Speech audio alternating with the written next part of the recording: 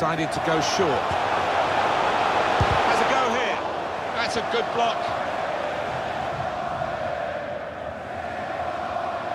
There's been a goal in the Hoffenheim match, and Alan McInally is there to tell us all about it. Let's have a quick check-in with Alan. It's a goal for Hoffenheim. 58 minutes played, 2-1. Good vision. Paco Alcacer. Well, he seemed to see a pass that... Brandt! The hard work pays off for Borussia Dortmund. Well, talk about getting reward, the hard graft. They've been at it from the start.